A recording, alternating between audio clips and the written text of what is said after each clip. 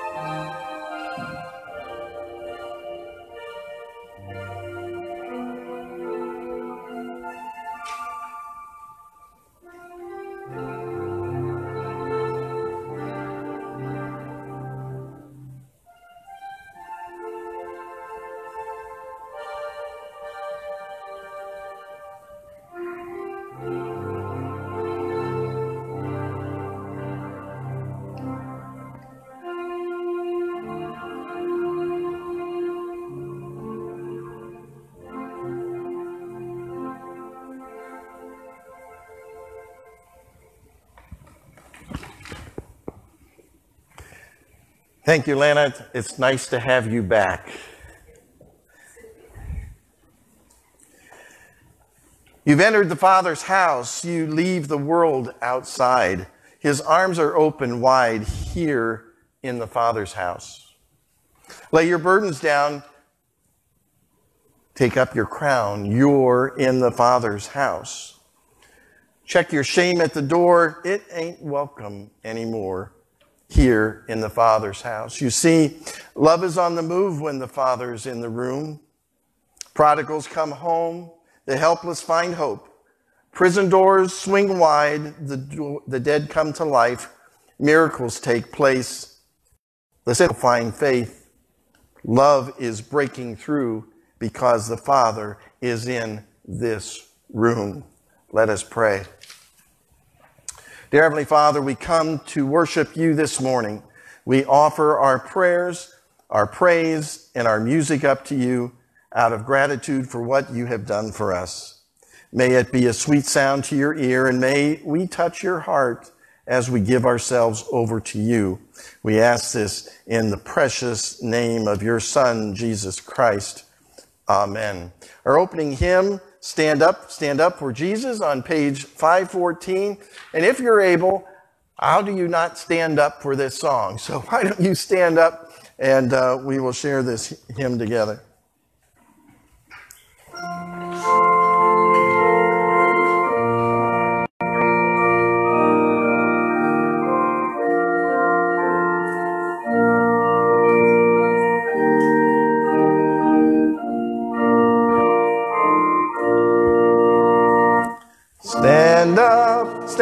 Up for Jesus, ye soldiers of the cross.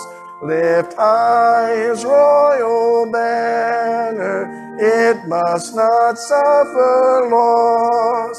From victory unto victory, his army shall he lead, till every foe is vanquished, and Christ is Lord indeed. Stand up, stand up for Jesus, the trumpet call obey. For to the mighty conflict in this his glorious day, ye that are brave now serve him against unnumbered foes. Let courage rise with danger and strength to strength oppose. You may be seated. And I just realized I threw you a curve. We sang the first and second, the bulletin said first and fourth.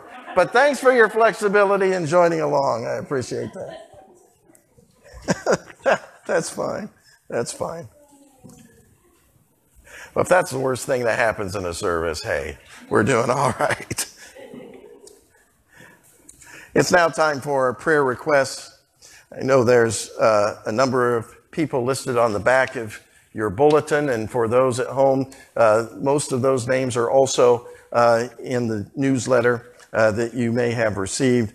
Uh, this has been quite a week for a number of people uh, in our area. We have a um, granddaughter of someone in the community that was life flighted uh, yesterday uh, up to Toledo. Uh, we're not sure of her condition, but it's uh, pretty grave. So we need to keep them in our prayers. Also, a daughter of someone uh, in the area has, is recovering from back surgery. It went pretty well, but obviously we won't know the success of that until the um, recovery from the surgery itself. Right in this congregation, the son of one of our members is recovering from a motorcycle accident and facing another surgery tomorrow morning up in Toledo, dealing with a partially amputated left leg. And we also need to remember the Dunbar family from over at the Liberty Benton area. Uh, their 18 year old son, who just graduated from Liberty Benton this year, lost his life in a vehicle accident at the same location as that motorcycle accident. So that is very difficult.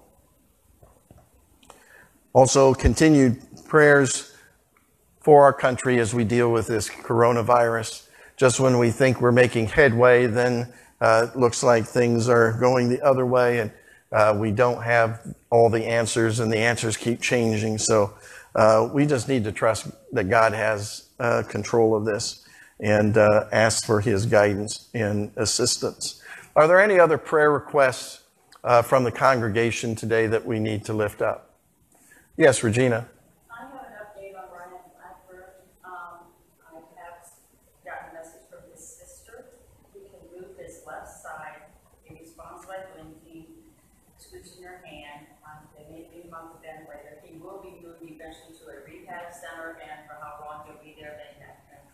Okay.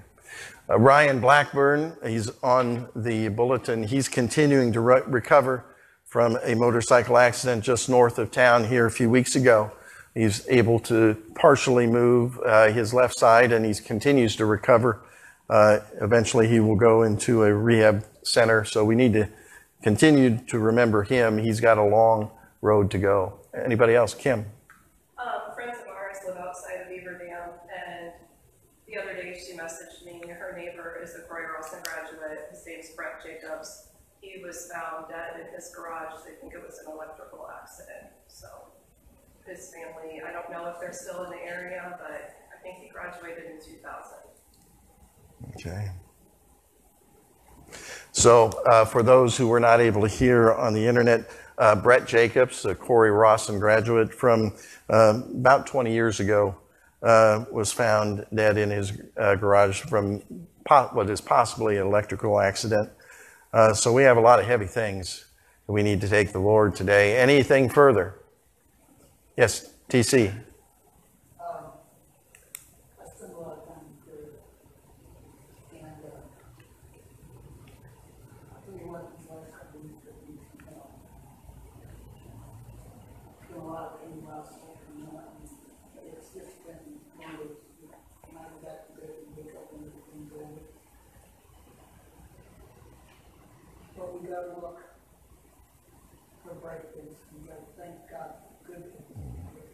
Thank God that He's gotten us through all this. Praise God. Absolutely. I, I look from the Lord, pray, faith, God listens. Thank you for praying.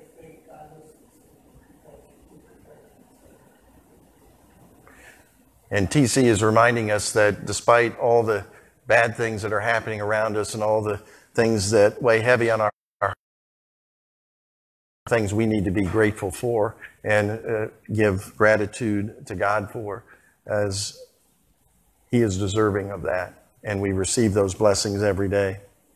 Any others? Yes. I have an on Gates. Transplant, that's Wednesday on the fifteenth. Um, everything's so good. Um, he's, that's immediately, I mean, he's doing well, and, um, also the lady that donated is also recoverable. Good. We have a young man, Gage, who we've been praying for for some time. He had his kidney transplant surgery finally last week, and that went well. He's recovering. So is the person who donated it. So, of all of these things, we can certainly give praise for that. Anything further? All right. Our prayer hymn this morning, Sweet Hour of Prayer. The first and third verses, I'm reading it correctly this time. Page 496.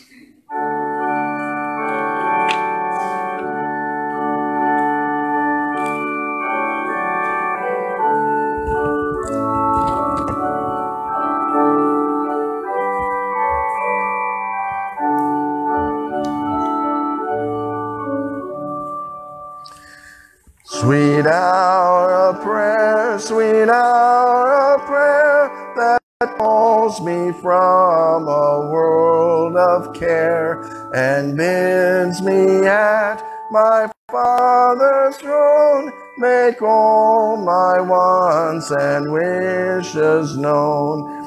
In seasons of distress and grief, my soul has often found relief and oft escaped the tempter's snare by thy return, sweet hour of prayer.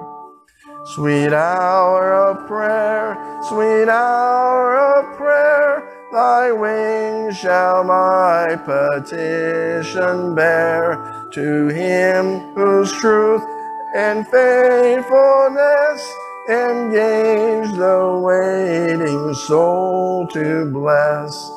And since he bids me seek his face, believe his word and trust his grace, I'll cast on him my every care and wait for the sweet hour of prayer.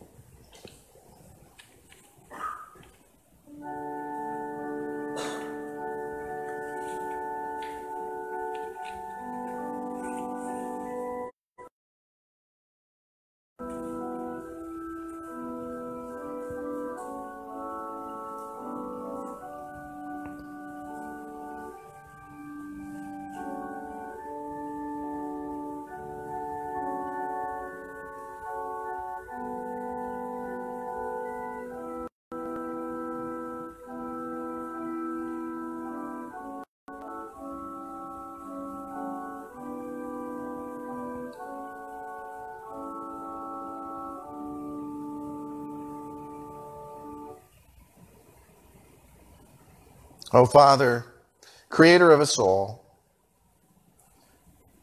great is your faithfulness. New mercies we see every day. We thank you for the blessings that you bestow on us. Help us in times of darkness, in times of trouble, in times of pain, to look past those and see that there are things to be grateful for, and that you are with us and abide with us always. We have many things that we need to bring to your attention today. Actually, you know all of those things already. The people listed in the bulletin, those who are going through uh, periods of grief for the loss of a loved one, those who are recovering from injuries and illnesses and surgeries We give you praise for successful surgeries and ask for continued healing uh, for those individuals. And we ask for your continued mercy and guidance and delivery from this virus that affects us in so many ways, both physically and financially and emotionally Help us to keep our trust and faith in you. And help us remember just how much you love us. A love so deep that you are willing to give your one and only Son as a sacrifice for us, that we might live with you for all of eternity. We thank you for your love and your devotion and your care. And we most especially thank you for our Lord and Savior Jesus Christ, who taught us to pray by saying, Our Father, who art in heaven, hallowed be thy name. Thy kingdom come, thy will be done, on earth as it is in heaven.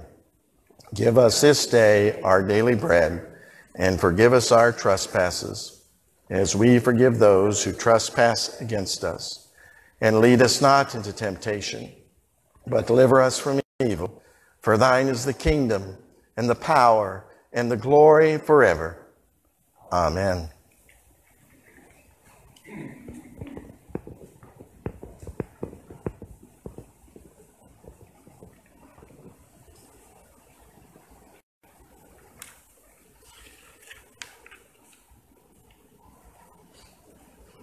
Do we have, we don't have a children's moment today?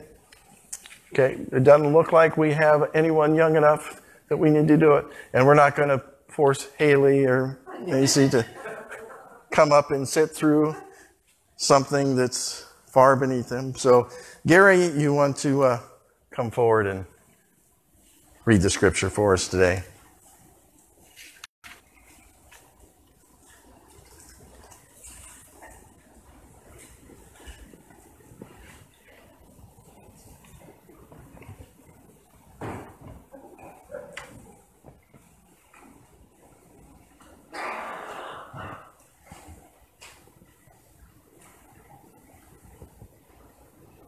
The scripture this morning is taken from Exodus chapter seventeen, verses eight through thirteen.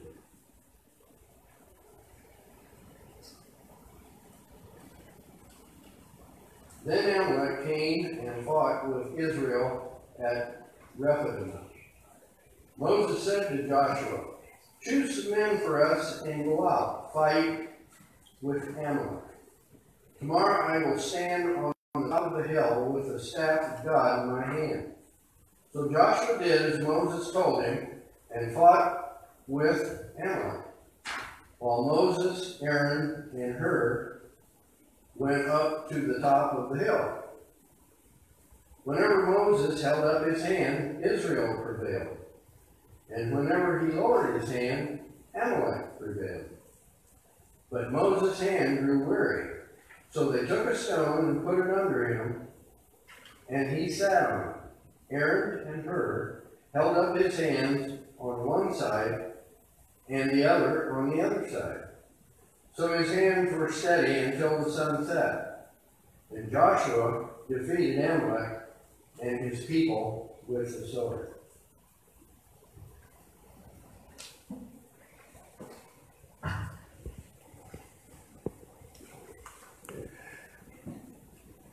Thank you, Gary, and praise God for the reading of His Word this morning. Before we get into the message this morning, will you pray with me as I pray the words of David? May the words of my mouth and the meditations of our hearts be accepted, our strength and our Redeemer. Amen. The Bible, as we all know, is divided into two sections, the Old Testament and the New Testament. The name associated with the first part of the book is unfortunate because just like objects that we think of as old, there is a tendency in some churches and some denominations to consider the books in that section of the Bible to be outdated, of little use, of no great value. Some tend to focus almost exclusively on the New Testament after all, the Old Testament is filled with peoples and nations whose names we can't pronounce, right, Gary? And who do not even exist any longer. It is filled with traditions and rituals that we do not understand or even practice. Some treat it like a book that has to be taken off the shelf, and before its use, they have to blow the dust off the cover before even opening it to read the pages.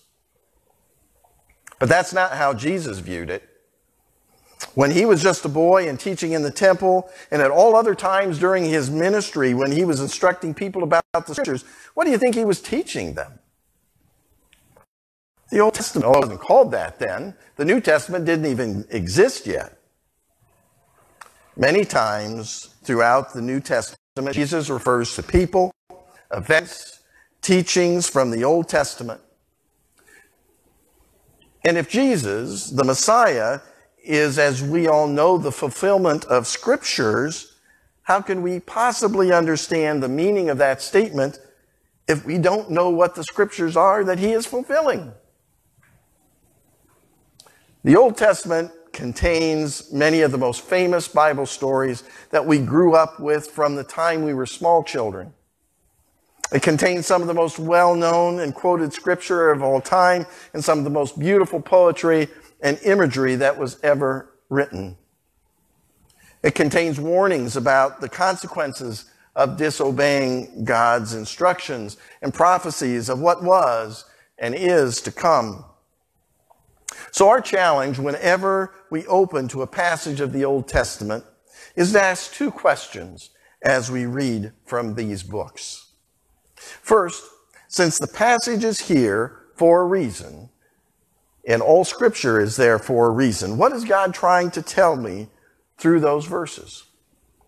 And second, how can I apply what God is saying to my life today?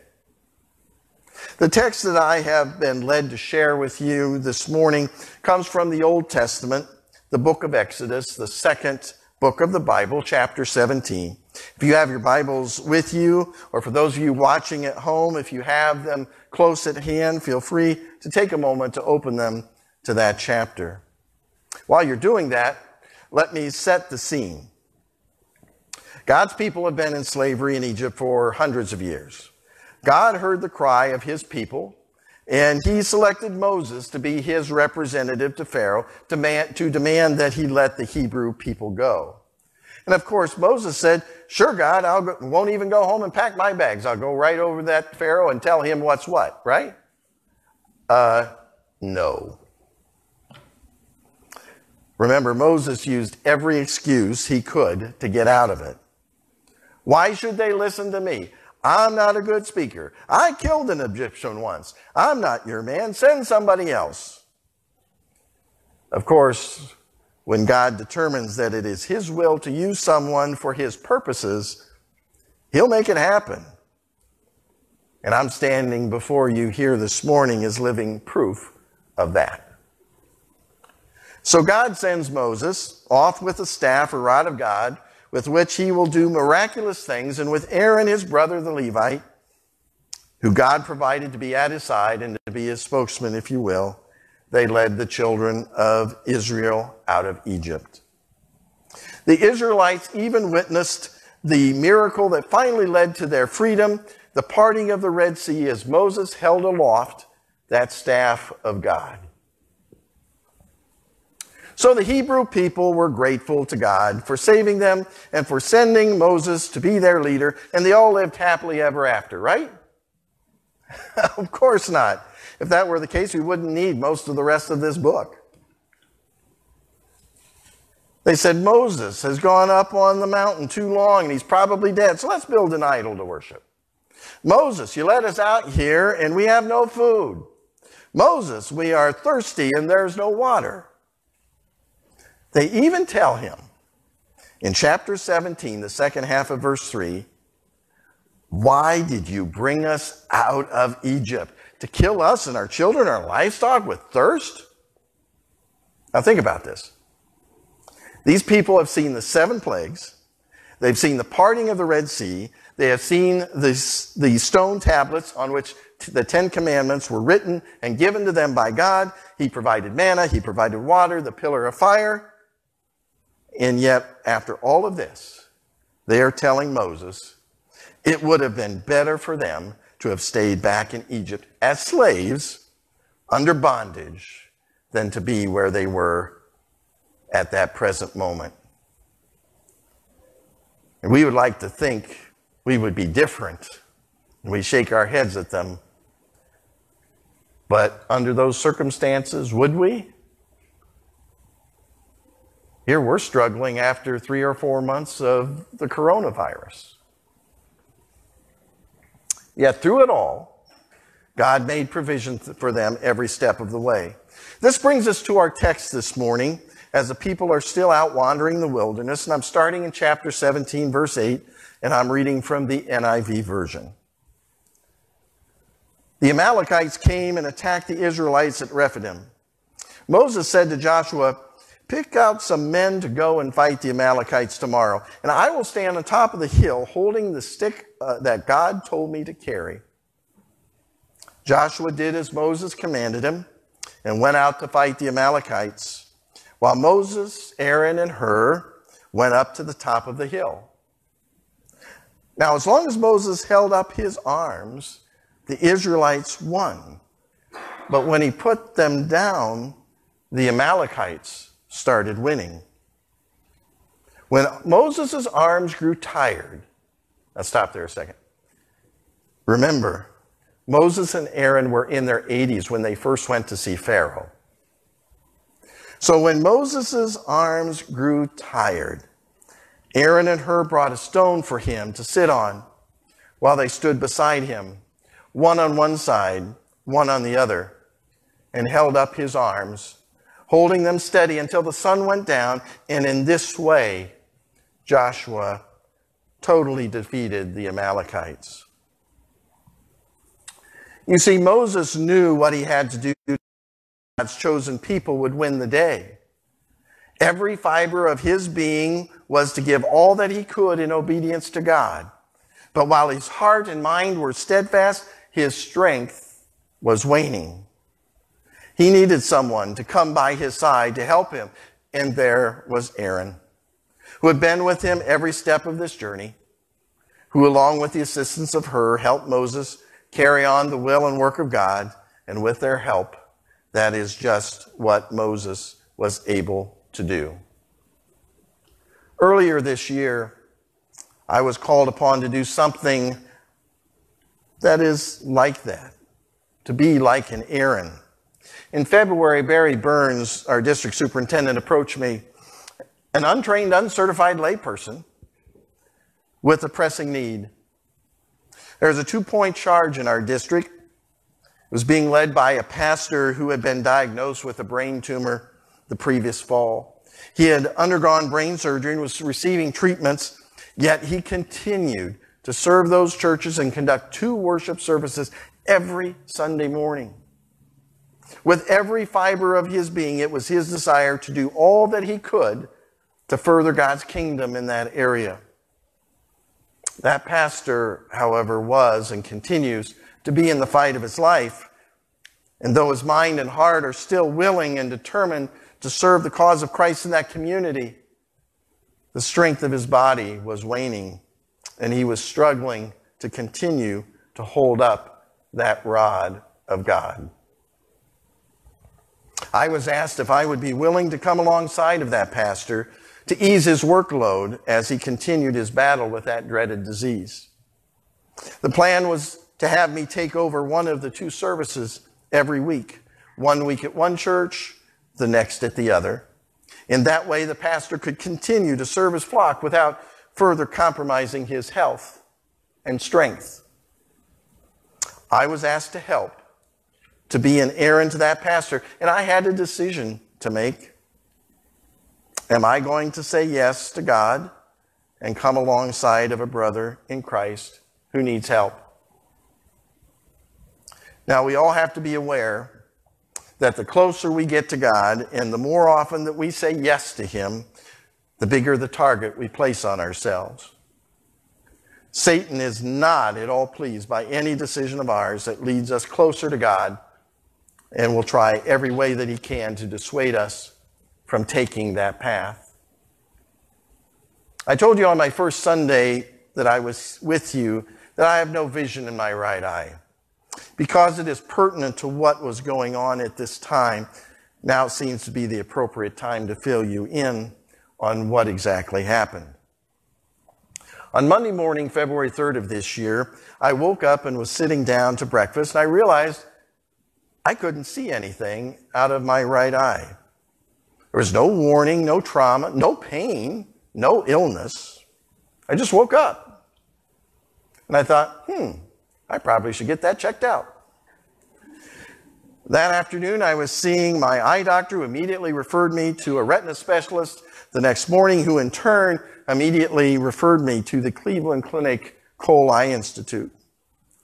First thing Thursday morning, I was seeing one of the nation's foremost retina specialists.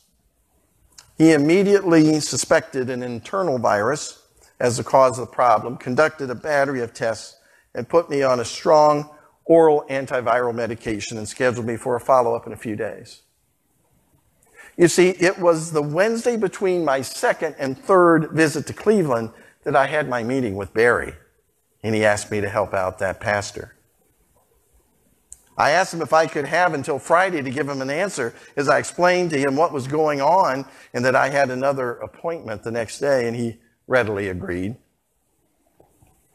When I went up the next day, by mid afternoon, I was being emergency admitted to the Cleveland Clinic Hospital as the medication I was on was doing a number on my kidneys, was not arresting the virus, which was threatening to spread to my other eye, possibly my brain and spinal column.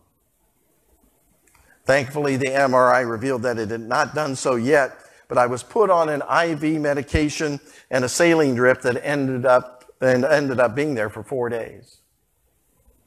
So on Friday, the day after my admission, the day I told Barry I'd give him an answer, I was on the phone to the superintendent and indicated that while I intended to say yes and that I should be out in time for that last Sunday in February, which was planned to be the first Sunday of this rotation, I wasn't sure how comforting it would be to the new pastor to know that his relief pitcher was calling from a hospital bed at the Cleveland Clinic. I was put on an antiviral IV therapy three times a day and was sent home. I did, in fact, handle that first Sunday as scheduled, and all seemed on track. And the next day, I was up for another follow up visit in Cleveland and was emergency admitted again. The medication I was on was not working, as there were signs the virus was, in fact, spreading to the good eye, and they had to try a different medication. And I remained there this time for five days, feeling fine, feeling frustrated, but understanding what they were trying to do for me to keep me from going completely blind. I was out in time and was able to conduct the service that next week as well.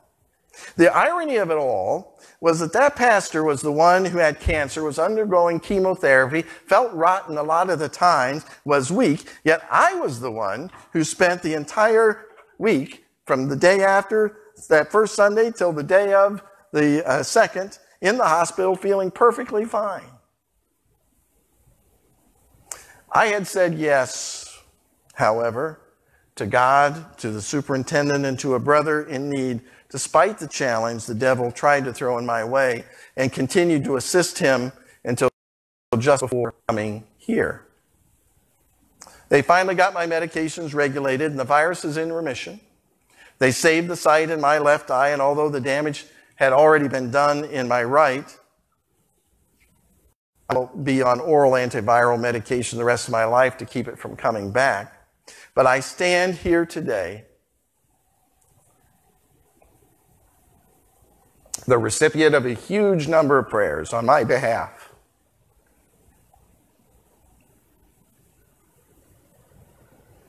And the recipient of God's grace and mercy in saving enough of my sight to allow me to serve Him and you in this place today.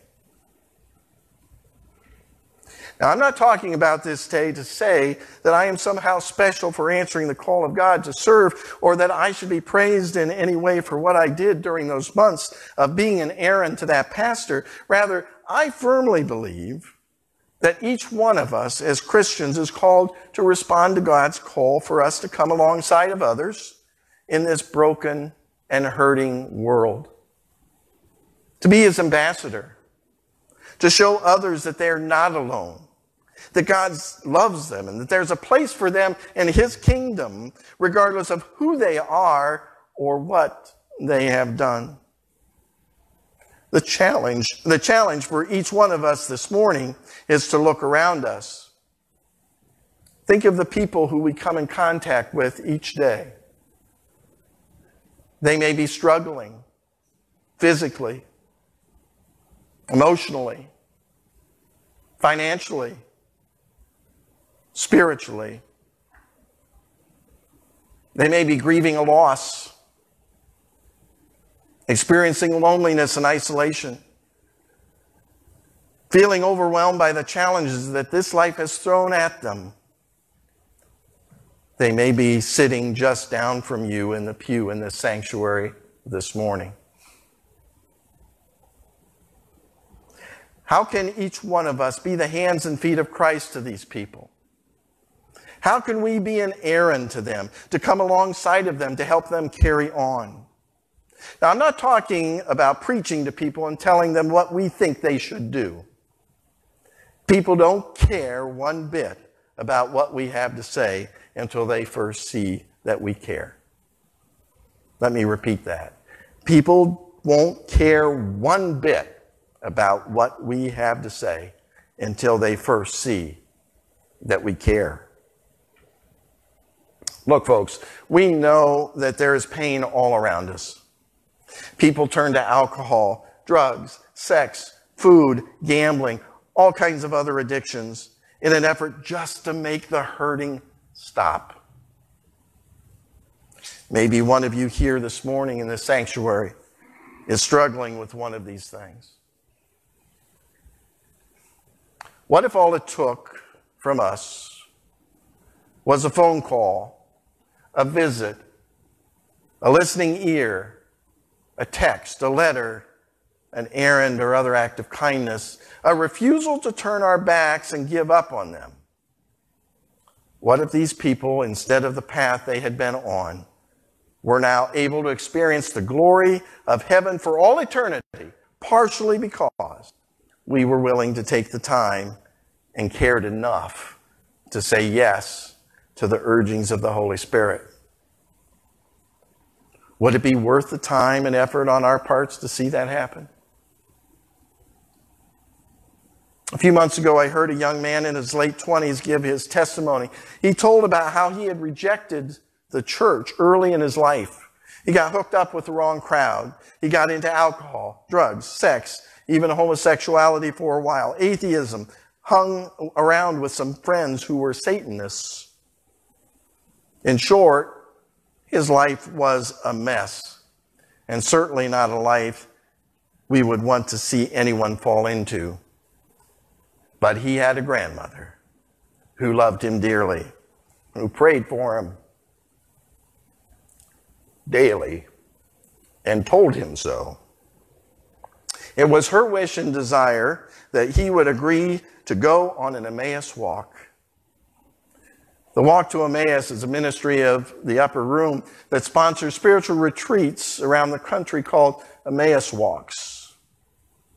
The purpose is to allow the participants called pilgrims to spend time in the presence of God, a time of reflection and spiritual renewal, and to come in contact with the living Christ and experience his love for them in a very special way. Anyway, this young man's grandmother passed away, but he loved her so much and knew it was her wish that he would go, so he signed up. When he first got there, he hated every bit of it. He didn't really want to be there. He resented the others who were there and did not have any desire to participate. He just wanted to get through the weekend, fulfill his grandmother's wish, check off that on the list, that box on the list, and get back to his life. But as the weekend went on, however, the Holy Spirit started working on him hard. His eyes were opening to the disaster he had been making of his life, and he learned that Christ loved him, died for him, forgave him, and wanted a relationship with him.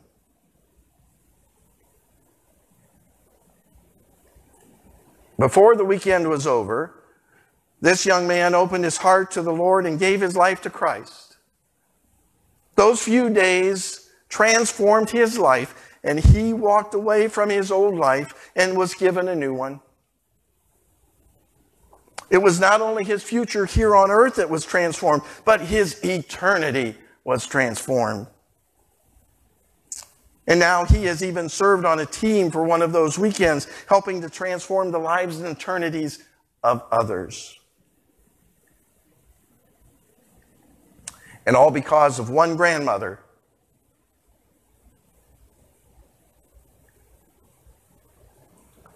who refused to give up on this prodigal child and continued to love him.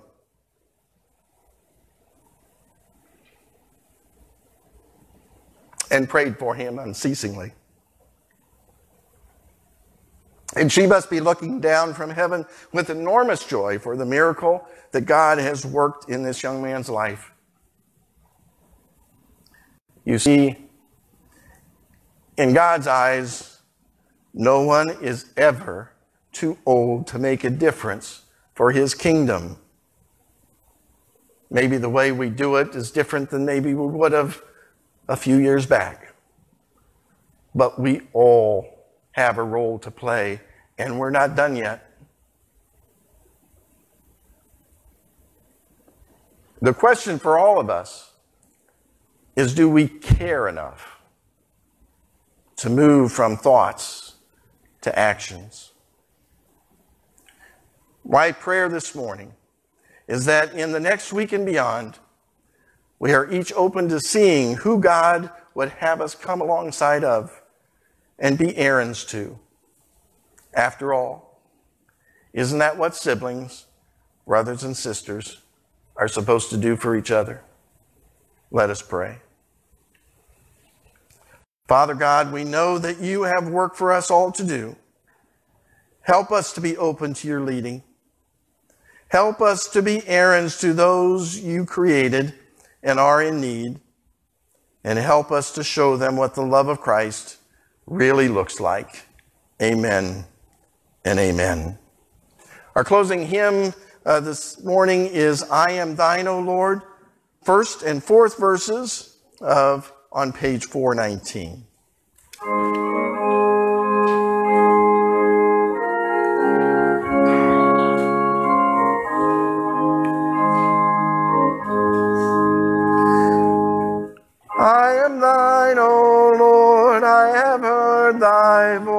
And it told thy love to me. But I long to rise in the arms of faith and be closer drawn to thee. Draw me nearer, nearer, blessed Lord, to the cross where thou hast died. Draw me nearer, nearer, nearer, blessed Lord, to thy precious pleading side. There are depths of love that I cannot know till I cross the narrow sea. There are heights of joy that I may not reach till I rest in peace with thee. Draw me nearer, nearer, blessed Lord, to the cross where thou hast died. Draw me nearer, nearer, nearer, blessed Lord, to thy precious bleeding side.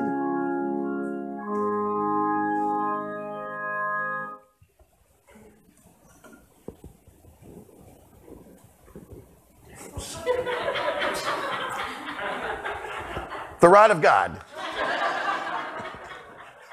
Until we meet again, may the Lord bless you and keep you. May the Lord make his face to shine upon you and be gracious unto you. May the Lord lift up his countenance upon you and give you peace. Amen.